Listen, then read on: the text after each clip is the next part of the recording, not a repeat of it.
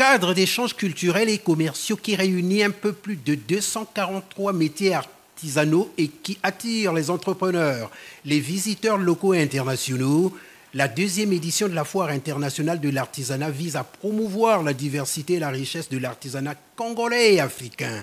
Mireille Opa Elion, commissaire général de la Foire. Nous vous invitons, Monsieur le Premier ministre, Mesdames et Messieurs les membres du gouvernement, les députés, le corps diplomatique, les officiels de divers rangs, acheteurs professionnels, collectionneurs, jeunes, femmes, hommes de toutes les catégories socio-professionnelles, de venir admirer et acheter et ainsi faire de bonnes affaires dans les rues des stands de ce grand village artisanal.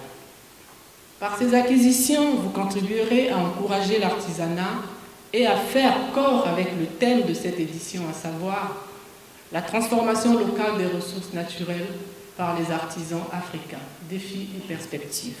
Plusieurs problématiques liées à l'avenir de ce secteur seront débattues entre acteurs venus de divers horizons, avec eux des ministres africains en charge de l'artisanat. En effet, l'artisanat est un secteur clé, nous le disons et nous le redirons toujours, pour le développement économique et social de notre pays.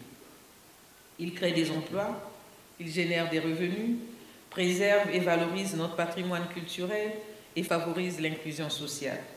En investissant dans ce secteur, nous nous assurons un avenir prospère et une économie diversifiée.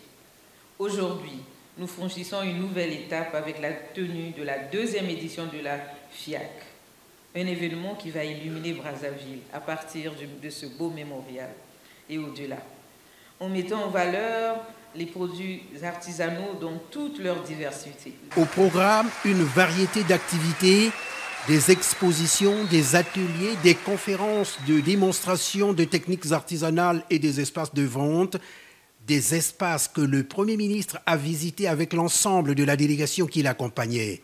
Les produits exposés couvrent un large éventail d'objets, l'objectif étant celui de soutenir l'économie locale mais aussi de préserver et de transmettre les savoir-faire traditionnels, contribuant ainsi à la conservation du patrimoine culturel congolais.